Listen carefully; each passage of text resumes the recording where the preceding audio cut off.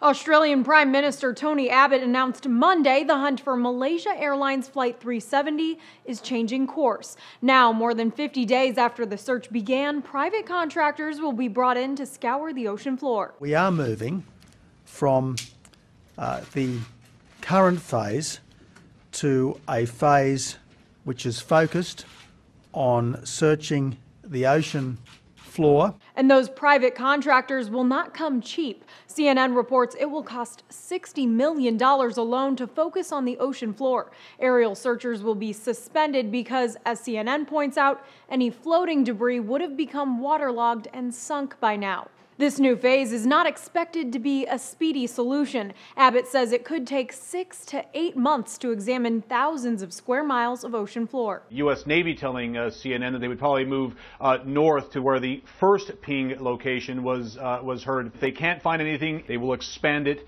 enormously, some 21,600 square miles. To put that into perspective, that search area is slightly smaller than the entire state of West Virginia.